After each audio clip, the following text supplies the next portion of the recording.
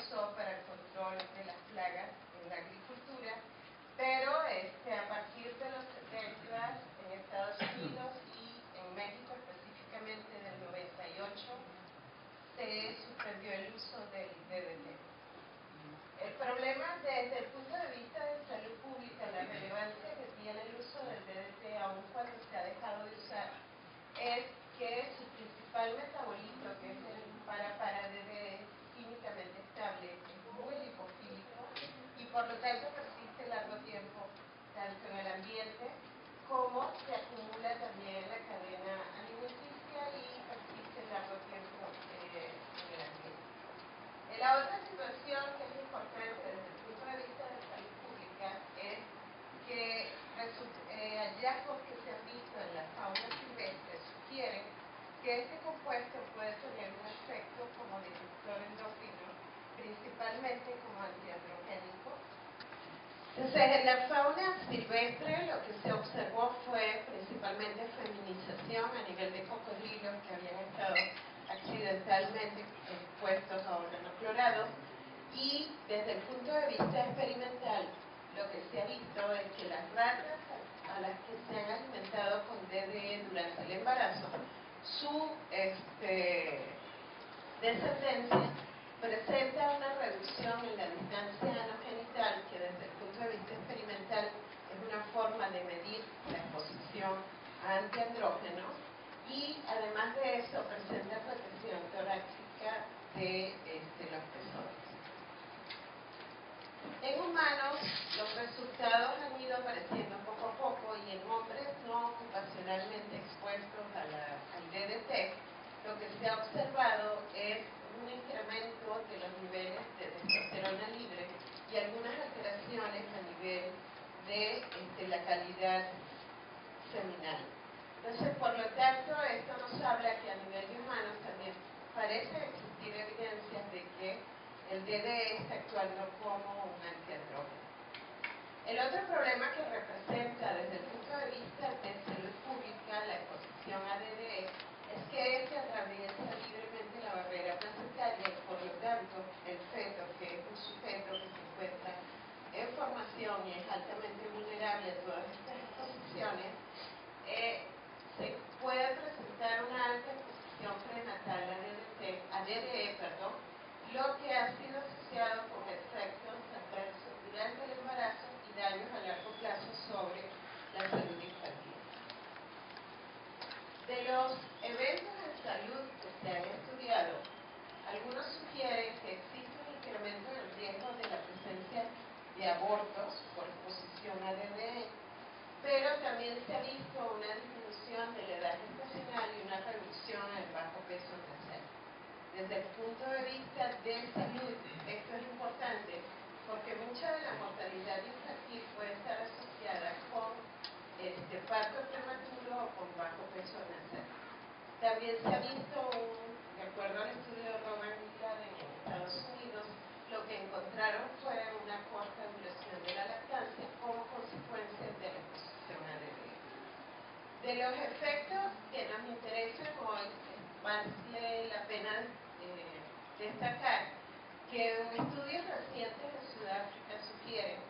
que existe un mayor riesgo de efectos urogenitales, ya sea triptorquidia, hipospadia o falta de descenso de los testículos asociados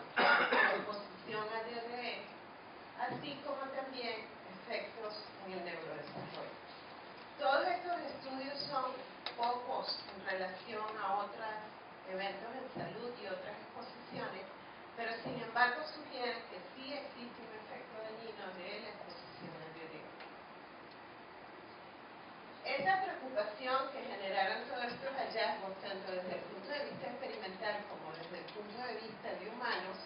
hizo que se generaran varios estudios de corte en, este, principalmente de tres países, que fue Estados Unidos, donde desde 1978 a 1982 el grupo del Dr. Rogan siguió un grupo de niños este, desde el nacimiento hasta la edad de la adolescencia. Después este, hay información acerca de un estudio de colaboración perinatal que se extendió desde el 59 hasta el 66 y más recientemente la doctora Brenda Eskenazi eh, inició un estudio de corte en la zona de Salinas, en California, donde ha seguido niños que nacieron dentro del periodo de 1999 al 2000. Todos estos estudios tienen, eh, excepto el de Carolina del Norte, tienen la ventaja de que toman las muestras de los niños desde el momento del nacimiento, perdón, eh, de cordón umbilical siguen a los niños, mientras que el principal defecto que tiene este, este estudio de Robert es que crearon una medición de la exposición a través de un índice que se formó con varias matrices, placenta, leche, cordón umbilical, y eso crea una falta de comparabilidad entre este estudio y los demás estudios que se generaron después de fecha. En los estudios de Estados Unidos, principalmente Rogan ha estudiado neurodesarrollo a varias etapas, ha estudiado crecimiento infantil y ha estudiado la duración de la lactancia. Por su parte, los otros estudios se han centrado básicamente en la evaluación del neurodesarrollo y el crecimiento infantil. Como lo mencionó Begoña en su presentación, en España existe una región que creo que se la región de Fils, que está cercana a una planta electroquímica donde existe una alta contaminación por DDT, pero además por PCB, y donde este, la doctora Nuria Rivafito siguió un grupo pequeño de números en comparación con estos de Estados Unidos, porque solo fueron 97 niños que nacieron en el periodo comprendido entre el 97 y el 99 y ella lo que evaluó básicamente fue el neurodesarrollo infantil durante el primer año de vida. Posterior a esto, este, hicieron un estudio conjunto entre comparando la corte de Flip y la de Menorca y evaluaron el neurodesarrollo a los cuatro años de edad. Con todos estos antecedentes, nosotros en México hicimos una pequeña corte en comparación con todo lo que venía de Estados Unidos eh, esta corte, como les comenté antes, se hizo en la zona centro de México, donde había el antecedente de una exposición eh, por campaña contra el paludismo eh, previamente y donde nos basamos hasta ahora en evaluar el neurodesarrollo, la distancia anogenital y el crecimiento Para ponerles en antecedente, en México existen zonas de, este, endémicas de paludismo. Fue, eh, aquí traigo los datos hasta el 97-98, pero si esto lo extendemos ya es mínimo el cambio que hay. Pero este, la mayor, veníamos de un uso y producción de DDT muy alto y este fue disminuyendo con el tiempo hasta la década de los 90 donde se, se prohibió el uso de DDT. De hecho, solo existe una reserva muy pequeña para casos de brotes de paludismo. Lo importante de esto es que aunque se ha eliminado el uso del DDT, en México existen dos fuentes importantes. Uno, la campaña contra el paludismo y el otro fue el uso extensivo que se le dio durante la década de los 60 al DDT para el control de las plagas en la agricultura. Ambas fuentes se cree que contaminan los alimentos y esta es la principal vía de entrada de la exposición ADD en humanos. En el caso de las personas que viven en zonas que fueron rociadas con DDT en la época del control del paludismo, tenemos que existen evidencias de que hay personas con altos niveles de DDE, este, tanto trabajadores de la campaña de la malaria como personas que no estaban ocupacionalmente expuestas a estos compuestos. Las matrices donde se han medido la exposición a DDE son básicamente el suero, tejido adiposo y más recientemente el cordón umbilical, suero materno y leche materna. Este que les traigo acá son los resultados de nuestro estudio, pero también hay información acerca de niveles de exposición en la Ciudad de México, que no es una zona expuesta a paludismo, esperaríamos que no existieran estas concentraciones, pero hay evidencia de que están presentes en leche materna. Con todo esto antecedentes, nosotros nos planteamos el objetivo de evaluar el efecto de la exposición a DDE sobre el neurodesarrollo infantil en niños residentes del estado de Morelos y además de eso tratar de evaluar el potencial efecto antiandrogénico que tuviera este compuesto en relación a la distancia anogenital de los niños que estaban participando en el estudio. La metodología que usamos fue este, geográficamente este que está en morado, corresponde al estado de Morelos, es un estado que está en el centro, muy cercano a la Ciudad de México, pero además limita con este estado que es el estado de Guerrero, que es una zona que estuvo muy expuesta a la campaña contra el paludismo y parte de la zona sur del estado de Morelos, sería lo que corresponde a esta parte de acá, fue también una zona palúdica donde los últimos informes acerca del rociado de DDT corresponden a 1998. Para ello lo que hicimos fue este, un trabajo muy arduo donde se invitaban a las mujeres durante sus pláticas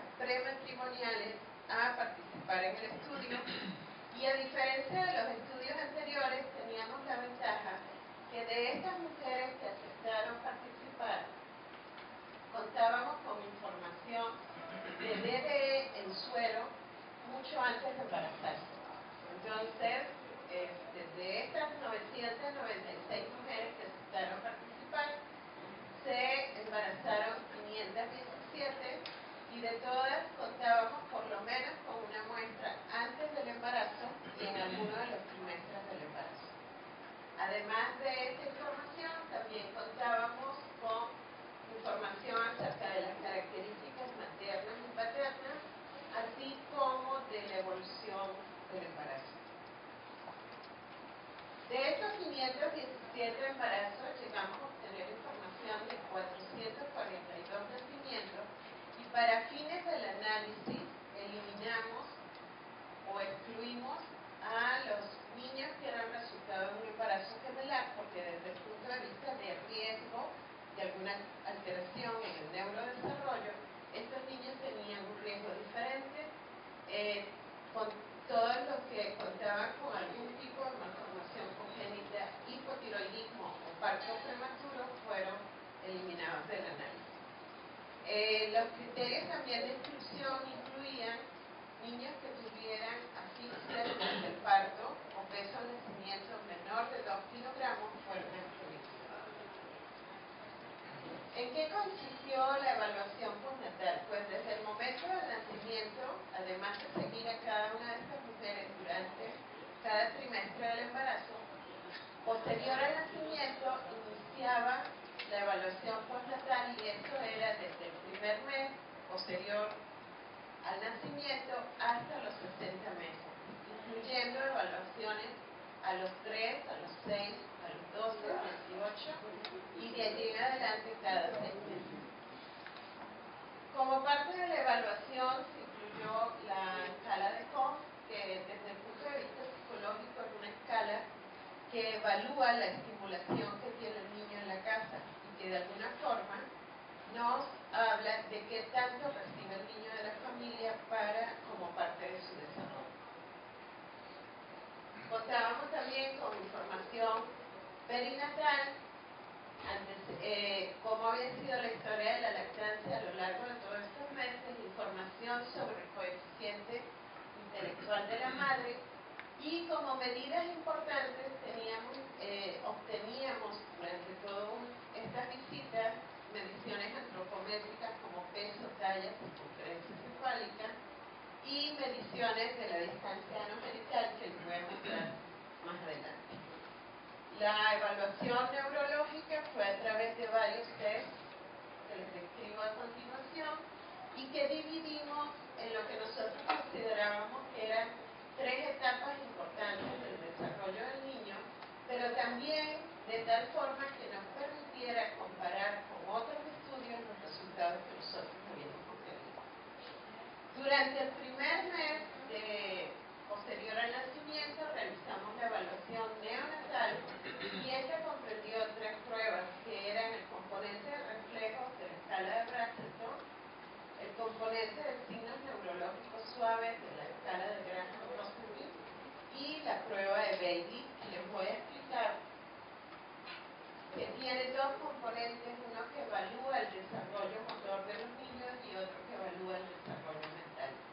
Esta prueba, además de aplicarla al primer mes, la aplicamos también desde los 3 hasta los 30 meses. De los 42 a los, a los 60 meses, este, ya no seguimos aplicando esta prueba y se realizó la prueba McCarthy que comprende seis componentes que además del componente motor evalúa muchos otros componentes como son la comprensión, el desarrollo verbal, eh, la asociación y algunas otras características. La ventaja que tiene este test en comparación con el de Bailey es que este está altamente relacionado con el coeficiente intelectual que va a tener el mientras que este no hay ninguna predicción importante en este sentido. Una prueba adicional que usamos a los 36 meses fue el Peabody y esto solo evalúa el desarrollo motor de los niños. Ok, en cuanto a la evaluación anogenital, existen dos cosas importantes y una es que hay medidas que ya han sido usadas en estudios previos y una medida que para fines de nuestro estudio uno de los co-investigadores propuso que usáramos debido a su capacidad de predicción dentro del área de, este, de los gastroenterólogos. Entonces, en este sentido, ahora les voy a poner unas fotos porno. son las mediciones que usaron en estudios previos y donde se limitaban, en el caso de las niñas, a medir nada más desde el, donde se inicia el borde de la vagina hasta el ano y en el caso de los niños desde el borde del escroto hasta el ano. Esto es lo que han usado algunos estudios, mientras que otros han usado esta misma medición,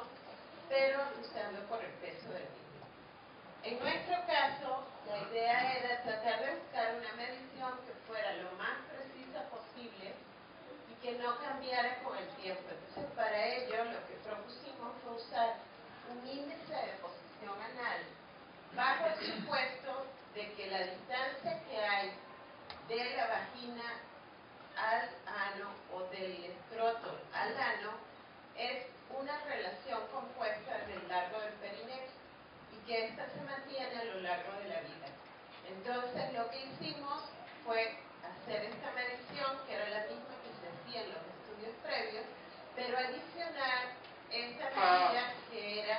lo que se llama la medida eh, genitocoxigia,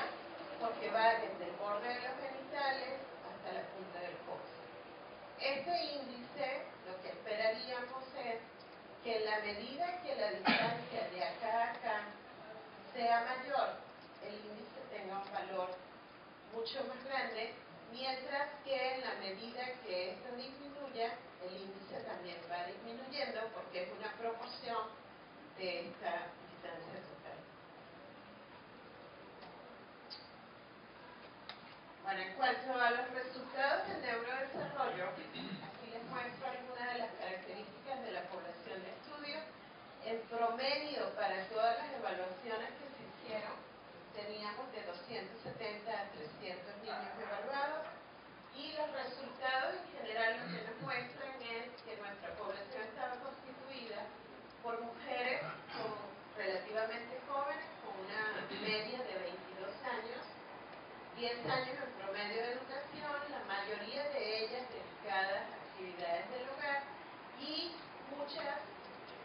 si no casi todas, eran su primer embarazo. En cuanto a los niños, hubo una mayor proporción de este, niños en comparación de niñas y por lo menos el 70% de los niños tenían más de 12 semanas de lactancia. En cuanto a los niveles de DDE y DDT, calculamos la media geométrica para cada uno de los trimestres, tanto de DDE como de DDT, y lo que observamos es que si sacáramos la, la relación DDE-DDT, esto es evidente que estamos hablando de una exposición crónica y no una exposición reciente. Solo el 35.8% de este, las muestras estuvieron por encima del límite de detección para los niveles de DDT. Tal como les mencioné en la metodología, el neurodesarrollo, voy a dividir los resultados en tres etapas. Lo que corresponde al primer mes posterior al nacimiento, que sería la etapa neonatal, después vamos a hablar del primer año y así sucesivamente. Entonces, en cuanto al neurodesarrollo neonatal, estas dos pruebas que tenemos acá, esperaríamos que en condiciones normales no existiera ningún signo neurológico suave ningún reflejo alterado. Estos reportes que están acá corresponden al riesgo que tendríamos por cada incremento de DDE de tener alguna alteración en alguna de estas dos. Lo que vemos aquí es que no existe ningún riesgo asociado por cada incremento de DDE a que los niños presenten ni signos neurológicos suaves ni reflejos. Por lo tanto, de acuerdo a estas pruebas, pareciera que el DDE no tiene ningún impacto sobre el neurodesarrollo neonatal. Por su parte, el Bailey lo que nos muestra es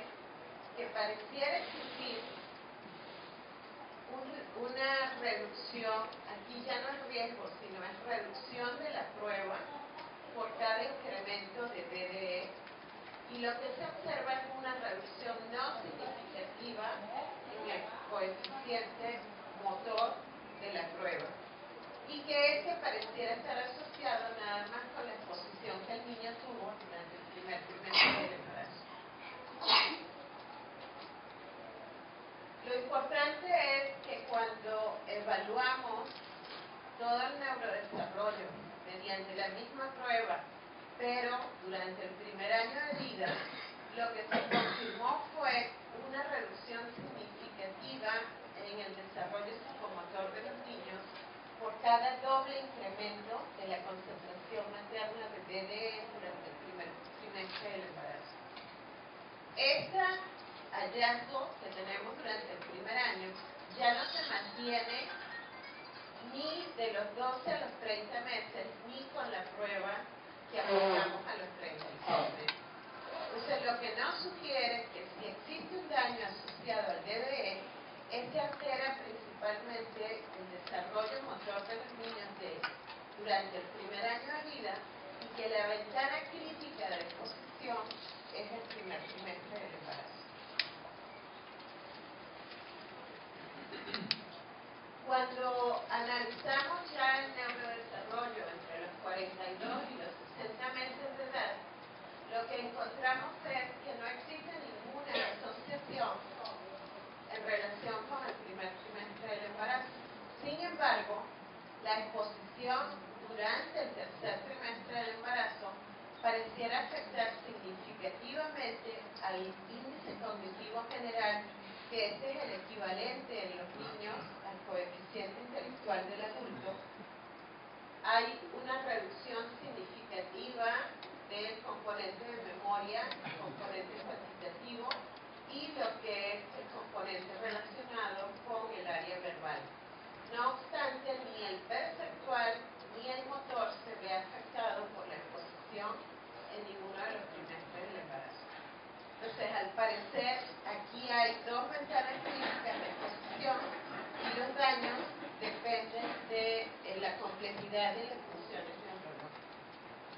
Entonces, en conclusión, para la parte de la evaluación neurológica podemos decir que los efectos negativos de la exposición prenatal a DDE sobre el neurodesarrollo parecen manifestarse en diferentes, de acuerdo a diferentes funciones a lo largo de la, de la infancia y que estos están en relación a la complejidad de las funciones neurológicas que uno esperaría dependiendo de cada etapa de, del Desde el punto de vista de plausibilidad biológica, nosotros pensamos que esto puede ser debido a un mecanismo antitiroideo en el sentido de que alguna alteración en la hormona tiroidea durante alguna de las etapas del desarrollo neurológico puede ser limitante para el siguiente desarrollo. Y si vemos, muchas de las eh, funciones que tienen que ver con la etapa motora se desarrollan en la primera etapa y a partir del el final del del en adelante es cuando se llevan a cabo el desarrollo de este, funciones como mucho más complejas desde el punto de vista neurológico.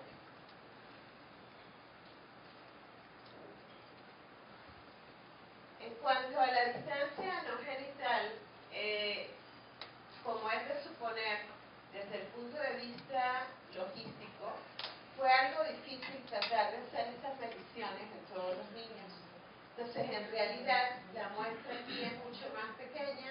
y nada más estamos hablando de 37 niños, 34 niñas. Sin embargo, esto es importante resaltarlo porque solo existe un estudio anterior que evalúa el efecto del DDE sobre la distancia no genital y fue un estudio hecho en una zona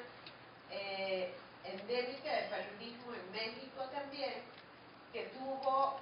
muchos niños en comparación a esta muestra, pero no contaba con información acerca de ninguna niña. Entonces, lo importante aquí era destacar las dos mediciones que se habían usado en estudios previos, más la que nosotros estábamos proponiendo, en el sentido de ver si estas mediciones seguían la misma tendencia de manifestar una diferencia entre niños y niñas y que esta fuera significativa. Tal como se esperaba para cualquiera de las tres mediciones, esperaríamos que en los niños la distancia anogenital fuera mayor que en las niñas y de esta forma entonces procedimos a analizar los resultados en función del DBE. En esta gráfica les muestro el eh, promedio de la distancia del índice de posición anal y en este eje se encuentran las concentraciones de DD en base líquida durante el primer trimestre del embarazo. Lo importante aquí es que la línea roja corresponde a los resultados de los niños y la línea verde corresponde a los resultados de la niña. Y en este lo que podemos observar es que existe una reducción significativa en el índice de posición anal entre los niños por cada doble incremento en la exposición de DDE durante el primer trimestre del embarazo, evento que no se observa entre las niñas.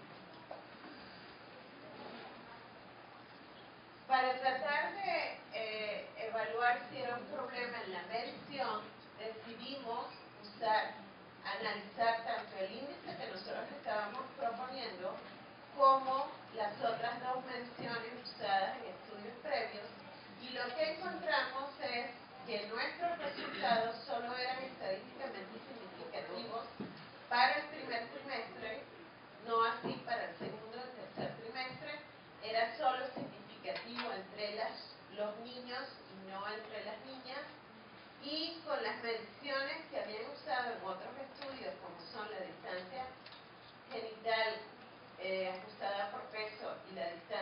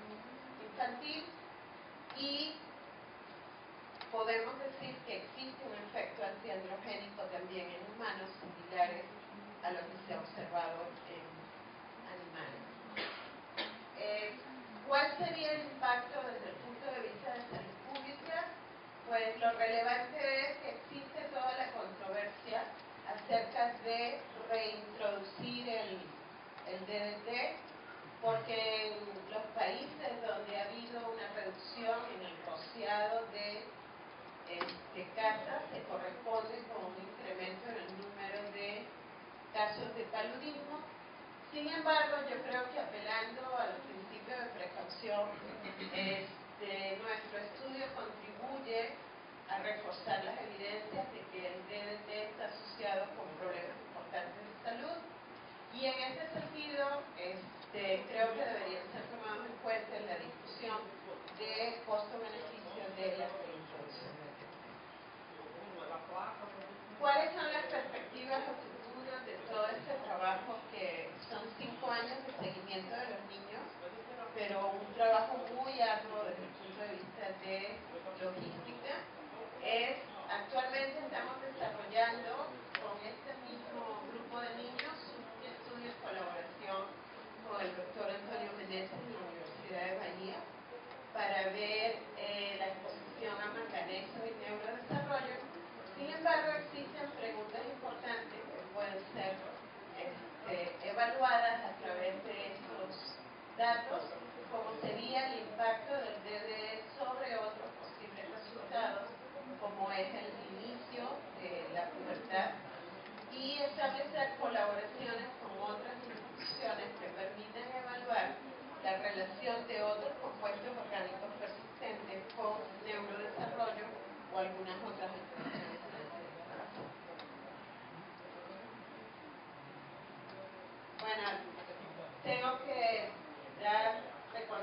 Reconocimiento a todas las fuentes de financiamiento, que fue el Consejo Nacional de Ciencia y Tecnología de México, a la Escuela de Mount Sinai en Nueva York a través del International Training Program. Y este, asimismo creo que es válido eh, destacar el trabajo de campo, donde un trabajo de tantos años, si no hubiera sido por el personal de campo, hubiera sido imposible llevarlo a cabo a las madres y los niños que participaron, los estudiantes de maestría y todas las instituciones y co-investigadores que participaron Y finalmente, muchas gracias.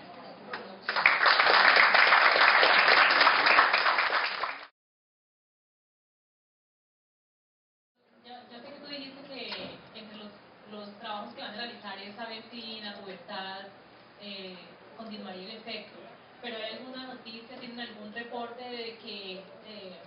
el problema fisiológico, biológico, eh, morfológico y fisiológico se agrave con la edad? Por lo que esa, distancia se haga más corta conforme el niño va creciendo y, y se haga peor en la edad adulta? No, acá no es que la distancia se empeore creciendo, no, o sea, la distancia se usa como un indicador de daño, nada más. Pero lo que se esperaría es que la etapa de la pubertad depende de todas las concentraciones de hormonas sexuales, en especial la de los niños, y en las niñas también depende de las concentraciones de estrógeno. Entonces, si el DDE tiene algún efecto, esperaríamos que hubiera alguna alteración en la edad de desarrollo, en la edad de la pubertad. Yo no soy epidemiólogo, así que disculpa si es que una No, no, no. Pero, ¿cómo influye que hayan aparte del DDE que puedan ser también eh, corresponsables de este efecto en el- la distancia entre, digamos, el efecto que ustedes observaron? Porque, sobre todo en los últimos años, ¿no es cierto? Y, y lo, lo- hemos visto a lo largo de este taller, se han venido evidenciando que los seres humanos estamos expuestos a un, a un número de sustancias químicas que tienen probablemente muchos efectos similares. Entonces, mi pregunta es cómo, cómo se puede excluir la presencia de otras sustancias químicas y atribuir este efecto solo a la, a la exposición al DDE. O, o ustedes también midieron cosas. No, eh, desde el punto de vista epidemiológico, no podemos llegar a la certeza de qué es el DDE que está produciendo este efecto. O sea, no podemos ser tan radicales en la conclusión. De hecho, una de las conclusiones que coloqué es que no descartamos que sea por el DDE, sin embargo hay que incrementar el tamaño de muestra para evaluar la posibilidad de que esto no sea un error de muestreo, pero además tratar de evaluar otros compuestos orgánicos persistentes que también son disruptores endócrinos y de esta forma lo que se haría es analizar con otros compuestos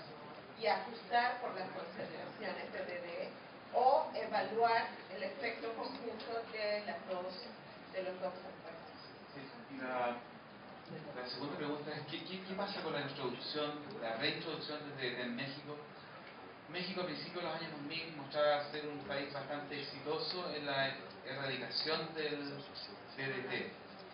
Y me tocó ver algunas experiencias que, que, que fueron bastante exitosas. Sin embargo, parece ser que empezaron el problema de paludismo nuevamente. y En que- México ahorita como tal no está planteada la reintroducción porque la campaña ha sido muy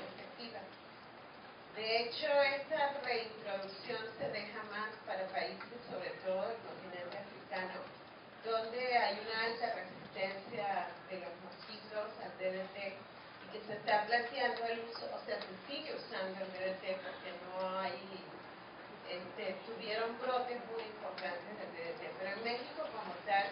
solo existe una reserva